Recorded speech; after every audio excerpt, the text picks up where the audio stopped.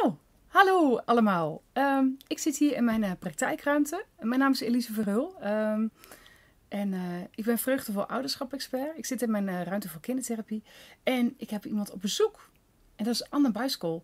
En Anne, die ehm, heeft ook net een boek geschreven. Daar gaat ze dadelijk al meer over vertellen. Maar oké, Anne, voor mensen die jou niet kennen, hè? wil je jezelf eens voorstellen aan mensen die jou niet kennen? Ja. Wat moeten ze dan weten van jou? Uh, mijn naam is Anne Buiskool eh, van goedgescheidenouders.nl.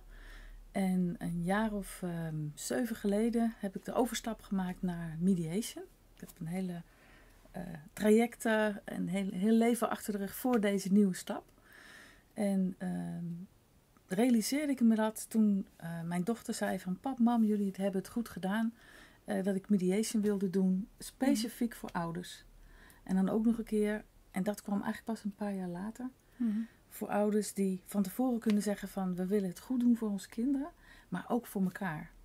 Zodat de kinderen uh, ervaren dat de, de ouders als partners uit elkaar gaan, als geliefden, maar als ouders gewoon beschikbaar blijven voor de kinderen. Ja.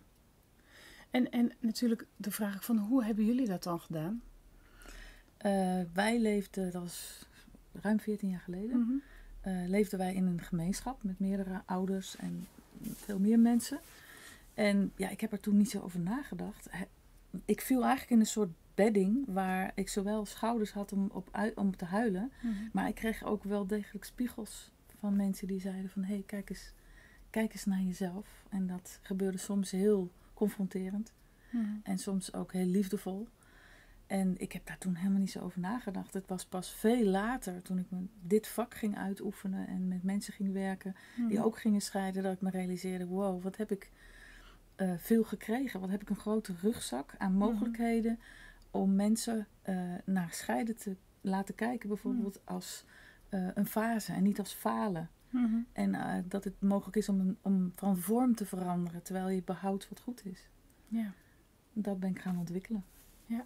Mooi. Ja, en ook de liefde voor het kind centraal te durven stellen, denk ik. Hè? Ja. Ik heb je boek nog niet gelezen. Ik heb hem vandaag uh, pas uh, gekregen. Dus ik ga hem zeker ook uh, lezen. Maar ik heb hem wel ingekeken en daar was ik al heel enthousiast over. Um, ja, en vanuit mijn werk als kindertherapeut is dat, kom ik natuurlijk ook allerlei gescheiden ouders tegen.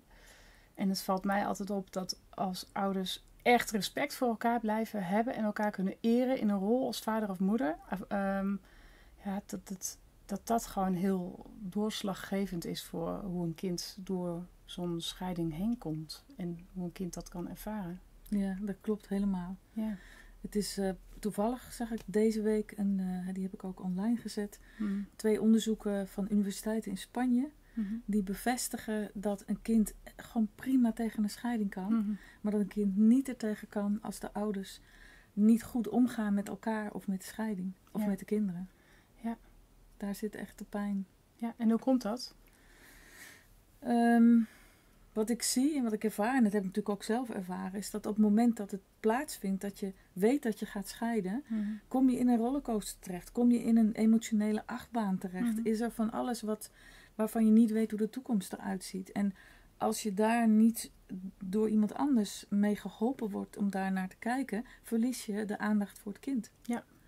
En dat is heel pijnlijk en dat gebeurt heel vaak. Ja. En mijn boek geeft echt, uh, geeft echt richtlijnen op dat zowel de ouders als de kinderen de volledige aandacht krijgen die nodig is Mhm. om zo'n proces te, te doen. Ja. ja, en dat is belangrijk. Hè? Ik ga het boek, uh, ik had hem natuurlijk nu gewoon in mijn handen moeten hebben, maar ik ga hem gewoon Ja. even pakken. Uh, hier is die. Dat vond ik het mooie. Toen ik, uh, toen ik het boek in mijn handen kreeg, dacht de titel is natuurlijk hoe vertellen we het de kinderen. En um, dat is een vraag die heel veel ouders uh, hebben.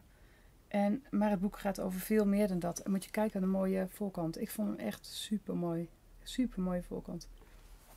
Met als ondertitel ook respectvol scheiden als een nieuw begin. Ja, ja, want je biedt zoveel meer dan alleen de uitleg hoe vertellen we het de kinderen. Ja, dat staat wel centraal, omdat dat eigenlijk in heel veel boeken helemaal niet belicht wordt. Ja. Uh, dus het is heel concreet. Hoe ga je zitten als je het gaat vertellen? Waar ga je zitten? Wanneer Ja. vertel je het? Ja. En waar, waarom is dat zo belangrijk? Um, als je als ouders beseft van nou, wij gaan scheiden. En je hebt dat bijvoorbeeld nog niet helemaal naar elkaar uitgesproken. De een is degene die het aangezet Mhm. heeft. En de ander eh, heeft het te slikken. Mhm. En er komt geen eh, wederzijdse erkenning van het is zo. Dan gaat dat later terugkomen. Mhm. Dus dat is de eerste stap. Want kijk, op de achterkant staat... Zeven stappen voor een kindgericht, gestap, Ja. eh, kindgericht gesprek. Ja. Dus dat betekent dat ik in die zeven stappen ook echt aangeef... Nou, dit is de eerste stap. Dat de ouders eh, ja, eigenlijk erkennen, het is zo. Mhm. Ja, met alle pijn. Dus daar, daar word je mee geholpen dan. Mhm. En dan komt er ook een, een hoofdstuk bijvoorbeeld over, eh, ja, over emoties en gevoelens. Mhm. Wat kun je daarmee? En een hoofdstuk over helpen en hulp vragen. En Mhm. eh, wie vraag je nou eigenlijk aan hulp? En geef je het aan de ander of blijf je zelf in charge? Mhm. Dus het is heel, het is heel best wel minutieus, stap voor stap, ouders helpen. Die, ja, wat ik terugkrijg van ouders is, dit is precies wat ik nodig heb. Ja. ja, het lijkt me ook een ontzettende grote behoefte. Dus ehm, ook vanuit, vanuit mijn ervaringen, vanuit mijn kindertherapiepraktijk, denk ik echt dat dit. eh, het kan niet anders dan een succes worden. Dat, Mhm. Ja. Het is gewoon belang, is echt zo belangrijk. En, en, hoe, en zoveel ouders gaan uit elkaar, hè? Weet jij de cijfers, hoe dat tegenwoordig zit? Vroeger zei ze altijd één huwelijksstrand. Maar goed, niet iedereen trouwt tegenwoordig meer natuurlijk. Ja, nou, het is wel grappig dat je dit vraagt, want ik heb een soort aversie gekregen tegen die cijfers. Maar het enige wat ik altijd onthoud is 70.000 kinderen per jaar. Ja, Dus dat betekent dat er elk jaar ook weer 70.000 bij komen. ja.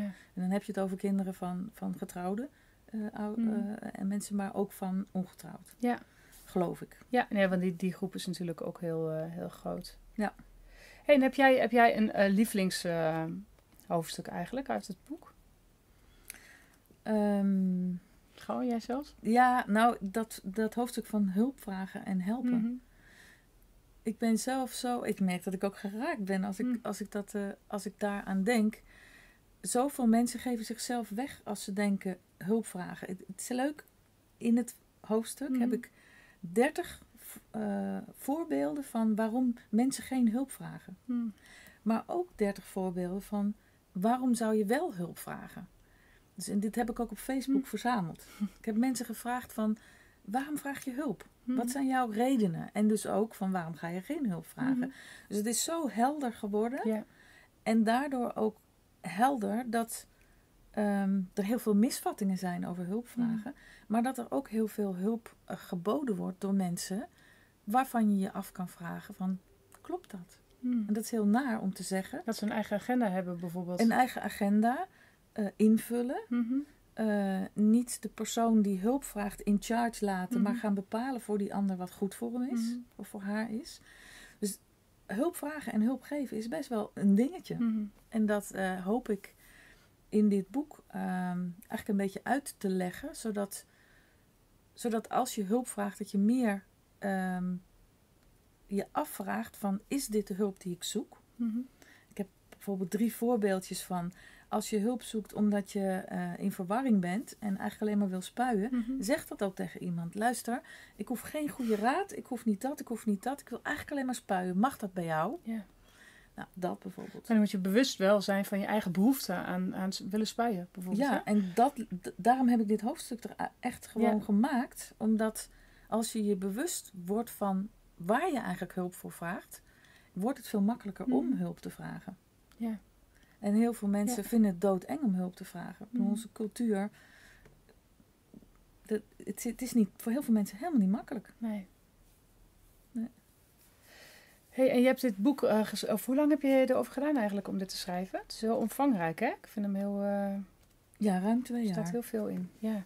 Ja. Wat, wat heeft het jou persoonlijk vooral gebracht? Want je bent natuurlijk, vul ik weer in, maar nou ja, dat kan echt niet anders dan dat je je, je eigen geschiedenis ook weer gaat beleven en gaat uitpluizen en stapjes. En wat, wat heeft het jou gebracht om, het, om, om dit boek te schrijven? Voor jou persoonlijk?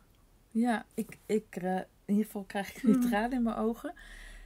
Eigenlijk is het een soort weerslag van, eh, van alles wat er in mijn rugzak terecht is gekomen. Mhm. Dus ik heb een so- soort verrassingseffect. Hm. Het is eigenlijk een cadeau, voor mezelf. Hmm. Een heel groot cadeau. Ja, want je hebt een waanzinnige rugzak, hè? Ja. Dat er zit zoveel in jouw rugzak. Ja. Ehm, wat je ook verwerkt hierin. Ja. Ja. En niet alleen maar omtrent scheiding, maar ook gewoon je persoonlijke ontwikkeling. Ja, nou ja, dat is wel wat, wat zoals ik het boek be, eh, benoem als mensen vragen wat voor soort boek is het. Eh, het is een van de weinige boeken, met name over het begin van de scheiding, Mhm. die, die geschreven is vanuit eh, persoonlijke ontwikkeling. Mhm. Vanuit, ja, hoe kan je verder je ontwikkelen Ja. als je gaat scheiden? In feite is het naar school gaan. Of ik zeg ook wel tegen ouders, dan komen ze wel en zeggen: Ja, wat moeten we nou tegen de kinderen zeggen? Mhm. Die weten het nog niet. En we, moeten, we, gaan, eh, we zijn nu al drie keer bij jou geweest. Mhm. En dan zeg ik: Nou, zeg maar dat je naar school gaat. Mhm. Dat je ook bepaalde dingen niet weet. En dan, op, dan zie je ze echt ontspannen. Van: Oh ja, dat is natuurlijk zo. Dan zien mijn kinderen ook. eh, ja, papa en mama weten heel veel. Papa en mama geven een bedding. Die kunnen heel veel, zien heel veel. Maar ze zijn ook nog steeds aan het leren. Ja. Nou, hoe heerlijk is dat voor kinderen? Ja. ja, dat dat mag hè. En Ja. sowieso is denk ik het hele ouderschap één groot leerproces. Of je nou wel of niet gescheiden bent. En toen- Ja, en daar ga jij alles over eh, ja, dat is, dat is echt in mijn onderwerp. Maar Ja. als je gaat scheiden, dan, dan gebeurt dat nog in een sneltreinvaart, denk ik. Weet je? Ik, ik krijg heel veel ouders hier, ehm, natuurlijk ook waarbij eh, scheiding een rol speelt. Eh, ook heel veel ouders hier die niet gescheiden zijn. Maar goed, natuurlijk ook ouders die wel gescheiden zijn. En ehm, dan vraag ik heel vaak van, en hoe was het voor je kind? Hoe heeft Ja. jouw kind die periode doorstaan? En dan kijken ze me aan en dan zeggen ze, ja, het is heel erg, maar ik weet het niet. Ja. Die ging er wel in mee of zo. Weet je, dat ze dat gewoon niet terug kunnen halen. Omdat ze Ja. zo in overleving hebben gestaan. Dat er gewoon geen ruimte was om Ja. aandacht aan de emoties van het kind te schenken. En niet vanuit qua je wil. Maar gewoon omdat er geen ruimte was. En omdat het leven dat overnam. Weet je, Ja. dat zo, ja. Ik weet het moment nog dat bij mij die shift plaatsvond. Hmm. En die, die zal ik mijn hele leven lang niet ver- vergeten. Wanneer was dat bij jou? Ja, ik, ik weet niet, ik heb geen gevoel meer over tijd. Mhm. Maar ik weet wel dat het niet heel erg lang was na, na nou, de scheidingsmelding, zeg Mhm. maar. Dat ik, ik had zo'n hele grote ronde rieten stoel. Eh, waar je helemaal in kan. Mhm. Echt zo'n zo'n heerlijke stoel. En ik weet dat ik mijn dochter op mijn, op mijn schoot had. En dat de zon naar binnen scheen. Dat was ook een hele bijzondere setting. En dat ik opeens heel stil werd. En dat ik me realiseerde ehm, hoe ik het doe, Mhm. hoe ik erover nadenk, hoe ik over hem praat, gaat bepalen hoe het voor haar is. Mhm. En dat was de shift. En dat geldt eigenlijk voor alles. Ja. Ja. Ja, dus je eigen persoonlijke ontwikkeling eerst eigenlijk, hè? Van Ja. dat bepaalt waarin je je kind in meeneemt. Ja, hoe- wat leef je voor? Ja, Wat maar dat is voor? ouderschap ook. Ja. Ja. En zeker bij die onderwerpen die moeilijk zijn, hè? Want voorleven is natuurlijk heel makkelijk als het over makkelijke dingen gaat of zo, hè? Ja. Ja, dan merk je ook bij die onderwerpen als het over seks gaat of over dood gaat, vind ik dat ook zo duidelijk iets, hè? Van hoe je taboe van de ouder, ja, zonder dat een ouder dat wil of onbewust is, wordt dat gewoon doorgegeven. Ja. Ja. ook je eigen gevoelens rondom de scheiding. Ja. Zoals jij als ouder voelt van het is echt oké, hoe moeilijk het ook is, Mhm. het is wat het is en het is oké. Ehm, dan draag je dat over aan je kind. Dat is in het begin bijna niet te doen. Hè? Nee, In het begin van de scheiding is dat. het is niet oké. Of hoe, hoe, hoe, hoe heb jij dat ervaren? ehm, ja, dat weet ik niet meer. Maar, Mhm. maar ik heb natuurlijk wel heel veel voorbeelden, recente voorbeelden. Ja, want je van, hebt heel veel ouders begeleid ook, hè? Dus dit de boek is ook gestoeld op ervaring van, eh, Ja. natuurlijk ook vanuit Ja. jouw praktijk. Ja, met name de afgelopen drie jaar heb ik heel veel ouders gezien die, die ook echt van tevoren konden zeggen van ja, ik wil bij jou zijn. Want, Mhm. want ik ben bereid Hmm. om, eh, om te kijken wat, wat ik heb gedaan Mhm. en wat ik kan doen. En dan zie ik wel dat, dat de, de, het feit dat je gaat scheiden Mhm. zoveel in werking zet van overleving, van reactiepatronen, van jij hebt het gedaan, dus het wijzen naar Mhm. elkaar. Dat gebeurt zelfs ook bij mensen die gewoon, of ja, Ja. die gewoon eh, ehm, best wel bezig zijn met persoonlijke ontwikkeling Mhm. voordat ze gingen scheiden. Ja. Maar die vallen gewoon in de valkuil. Net zo, weet je, we zijn mensen. Ja, en al het lelijke van jezelf komt dan naar boven, denk ik ook, Ja, hè? Ik bedoel, ja. eh, ja.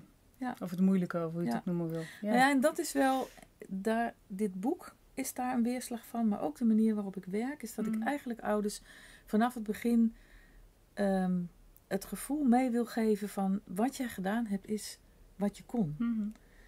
Dus het hele begrip schuld Mhm. en schaamte leg ik eigenlijk meteen op tafel. Mhm. Komt eigenlijk meteen in de allereerste eh, Ja. eh, gratis eh, uur. Mhm. Leg ik het gewoon op tafel. Van, joh, en het kost mensen soms moeite om te zien Mhm. dat dat zo is. Maar dan vraag ik even door. Van joh, maar heb je dit expres gedaan? Of was het gewoon dat je niks anders kon? Of dat je zelfs met vreemd gaan. Mhm. Van was, was er een andere optie op dat moment? Nee, op dat moment niet. Ja, misschien een week later of misschien soms een Ja. uur later. Ja. En daar kun je dan verantwoordelijkheid voor nemen. Maar in dat moment, dat is eigenlijk hetzelfde als met kinderen. Dat ken jij natuurlijk ook. Ja. Als ze iets doen of Ja. een vaas eh, stoten. Hoe vaak krijgt een kind dan niet te horen dat hij slecht is of dat hij iets fout heeft gedaan? Ja, ja en hoe, hoe ik dat voel voor mezelf, naar kinderen, maar ook naar alle ouders. Dus ja, je doet altijd het beste wat op dat moment in jouw vermogen ligt. Ja. En dat is vaak al heel veel. Ja. En achteraf kan je natuurlijk zien van, goh, dat had ik moeten doen of zus of zo. Maar op dat moment kon je inderdaad niet anders, blijkbaar. Anders had je het wel anders gedaan. Ja, precies. Toch? En dat geeft En ontspanning. Ja. Dat geeft ontspanning. Ja. Als mensen echt zien dat hè? dat zo is. Ja. Ja. ja. En dan om het nog een stukje zachter te maken, Mhm. eh, gebruik ik ook vaak eh, diplopoppetjes Mhm. om de gezinnen van herkomst neer te zetten. Mhm. Waardoor, en dan hoef je vaak niks te doen, hoef je helemaal niet te praten, maar te vragen van hoe, waar staat vader, hoeveel zusjes en broertjes. En dan heel langzaam ontstaat zo dat beeld, die twee beelden. En vaak zonder dat er iets gezegd wordt, zien ze opeens van, oh maar wacht eens even. De manier waarop ik ruzie maak, maar dat heeft mijn vader ook. En, en mijn opa eigenlijk ook. Oh, maar dat is dus niet van mij. Dat heb ik overgenomen. Nou, dat soort inzichten, Mhm. dat geeft ook een soort ontspanning. Dus ik ben eigenlijk dit eerste Ja. gesprek voornamelijk bezig met ehm, de ouders te helpen te komen dit is nu zo. En wat nu? En er zit onschuldiging in en tegelijkertijd verantwoordelijkheid nemen. Hè? Exact. Die twee dingen. Ja. En, en die vraag ik me af, die, ehm, eh, ook toen we met elkaar in gesprek waren voordat de camera inging, was ook, lag die vraag ook op mijn lippen. Ik heb het niet gesteld. Maar heb jij nou wel eens dat er mensen bij jou komen, die willen gaan scheiden, en die willen goede begeleiding, want ze willen het beste van kinderen, die in zo'n traject natuurlijk waanzinnig veel persoonlijke ontwikkelingen doormaken, omdat dat ook het stuk is waar jij heel op zit. Ja. En dan ontdekken van, hé, hey, ik leef mijn patroon. Weet je wel, ik leef niet mijn ware zelf in contact met mijn partner of met mijn ex-partner, maar ik ben weer een product van die andere generaties en, en, en, nou ja, en alles wat daarin meespeelt. Mhm. Die dan tot de ontdekking komen van, hé, hey, wij kunnen toch weer door met elkaar. Mhm. Leuke vraag. Ja, gebeurt het wel eens. Ehm, Ik kan me dat zo Het- voorstellen dat dat... Het gebeurt vaak, maar niet in de loop van. Het is eigenlijk bijna het tweede gesprek al. Mhm. Omdat je dan al zicht krijgt daarop. En de meest, meestal is het, zijn het mensen die dan komen die, na, die zeggen van tevoren van we weten het niet zeker. Mhm. Wil je met ons meekijken? Ja. Ik heb nu een stel die wisten het bijna zeker. Mhm. Bijna zeker, nou volgens mij moeten wij gaan scheiden. Mhm. En aan het einde van het eerste gesprek keken ze elkaar aan en keken ze mij aan. Wow, dit is allemaal eh, nieuws. Eh, wij gaan naar huis met huiswerk. Ja. En nu zijn ze. Ja, het is geweldig. Super. Echt Ja. geweldig. Ik kwam Ja. ze toevallig, ja, wat is toeval, via via tegen op een, een heel andere stad. Mhm. Zo grijns, twee kindjes, blij, vakantie. Ik had echt zoiets Mooi. van, eh, wauw. Ja, maar dat zijn natuurlijk cadeautjes. Hè? Want dat, tijdens het boek, dat Ja. is niet jouw, jouw, we het, waar je specifiek op aanstuurt. Hè? Om die ouders bij bij Ik elkaar te stuur krijgen. überhaupt niet. Nee, daarom. Het ik is, stuur ja. überhaupt niet. Het is echt, mensen komen Ja. en wie ze zijn, komt, Ja. wordt zichtbaar. En ik ben er eigenlijk alleen maar, ik ben beschikbaar. Ja. En ik stel vragen en ik prik zo af en toe. Ja. en ja, wat er dan tevoorschijn komt, dat, dat vraagt weer om een Ja. vervolg. En En is iedereen welkom in, jouw in jouw praktijk? Nee. Nee? nee, het klinkt een beetje streng als ik dat zo zeg. En wie Nee. wel en wie niet? Nou ja, eigenlijk zegt het het al wat ik in het begin zei. Ik werk met mensen die van tevoren kunnen zeggen: Hmm. wij willen het goed doen voor de kinderen. En wij willen het goed doen voor elkaar. Dus we gunnen elkaar een nieuw leven. En eerlijk gezegd heb ik nu al een aantal eh, ouders die ook in de loop van het pro- proces kunnen zien dat ze niet alles hoeven af te Hmm. sluiten. Ik heb nu een stel wat gewoon zegt van ja, wij gaan alle verjaardagen samen vieren. We gaan Mhm. alle feestdagen samen vieren. Dus daar is een soort uitgangspunt van dit willen we onze kinderen geven. Want daar ervaren ze een vader en een moeder. Hmm. Ook al hebben die vader en moeder een nieuw leven en misschien straks nieuwe partners. Maar Ja, maar je blijft altijd bij elkaar horen, hè? Als vader en moeder. Ik bedoel, Ja. gewoon in dat stuk, hè? In het ouderschap. dat is natuurlijk zo. Maar als Ja. ik kijk naar, ik was laatst op een, een, een scheidingscongres. Hmm. En als ik dan hoor hoeveel ouders nauwelijks nog iets te maken willen hebben met elkaar. Hmm. Eh, dus er, is een, er zijn wel degelijk heel veel ouders die, ik denk, niet de kennis hebben en het inzicht en niet de wetenschap wat er mogelijk is. Hmm. Ja, Ja. Ja, maar goed, die kunnen ook geholpen worden met dit boek, hè? Want Ja, is dit boek voor iedereen?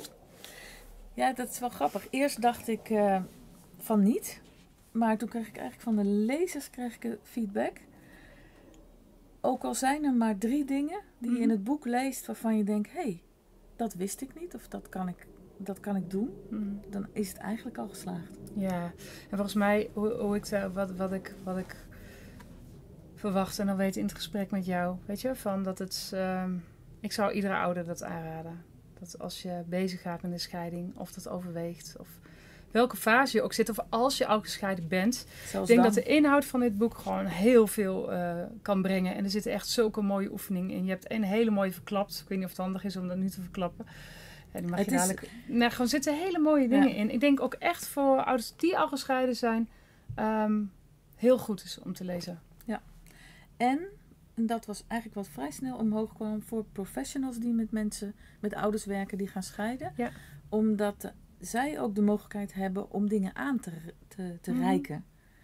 Dus ik heb nu al in ieder geval bij twee opleidingen zit hij al in de, in de- ja, En wanneer is dit boek nou eh, officieel... eh 27 mei. 27 mei is Dus het het is eh, heel in de wereld gegaan. Ja. ja.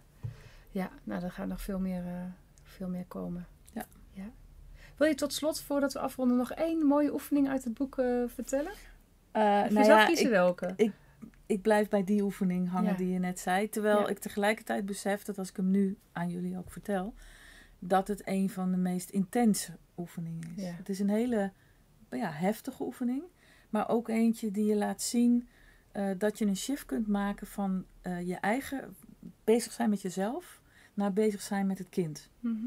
Dus ik nodig ergens in het boek uit om, eh, als de kinderen naar school zijn of als je kind naar school is, om op de kamer te gaan zitten van het kind. En je hoeft eigenlijk niks te doen.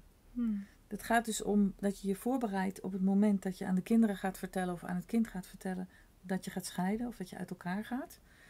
En je gaat in die kamer zitten van, van je dochter of zoon en je kijkt rond. Je hoeft eigenlijk niks te doen. Je, je verbindt je met je kind. Je zit daar. Ja, en misschien komen de tranen. Misschien moet je heel Hmm. erg huilen. Misschien eh, dringen er dingen door die, eerder niet, niet, die je eerder Hmm. niet besefte. En dan maak je de, de, de overstap naar dat je je voorstelt hoe jullie aan je kind gaan vertellen dat jullie uit elkaar gaan.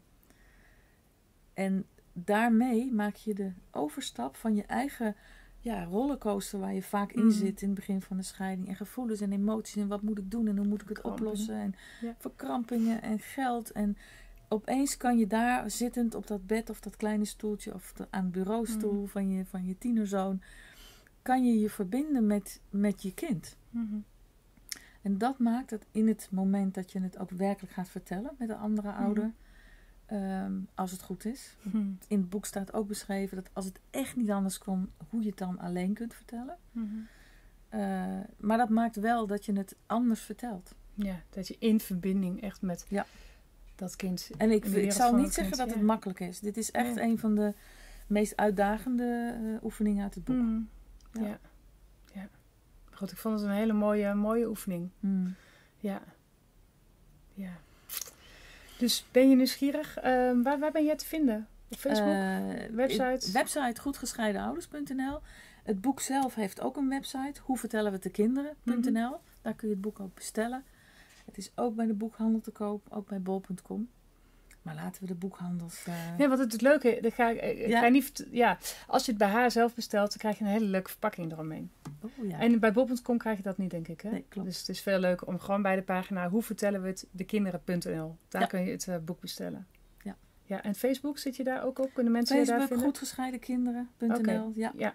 Daar We zetten de ook- links hier wel achter ook bij dit, of Ja, eronder daar bij dit filmpje. Daar is ook een besloten pagina. Oké. Ik moet eerlijk zeggen dat ik ben een beetje slordig geweest met die pagina. Maar daar zitten ouders op die al gescheiden zijn. Mhm. Die in een scheiding zitten. En mensen die professionals zijn. Mhm. En we, de bedoeling is dat deze eh, ge- eh, geheime is het niet geloof ik. Besloten. besloten pagina. Mhm. Dat die een plek wordt. Een veilige plek voor ouders om uit te wisselen. Dus dat krijg je er ook nog bij. Ja. ja. hey, dankjewel Anne voor je tijd. En eh, super dat je dit mooie boek hebt geschreven. En eh, nou, er zullen heel veel ouders blij mee zijn. En vooral heel veel kinderen. Ja, want daar gaat het uiteindelijk om, hè? Ja. Om de kinderen. Nou, ook om de ouders. Ja, ook omdat... Want ja, als maar die goed, dat ouders is- ja, dingen gaan zien, Ja, kunnen ze beter hun kinderen begeleiden. Ja. Dus dat is wel... Ja, Ja. Dankjewel voor het interview. Ik vond het heel ja leuk. graag gedaan. Super graag gedaan. Nou, ik ga weer zwaaien. Ik zwaai Doeg, altijd aan het. Doei.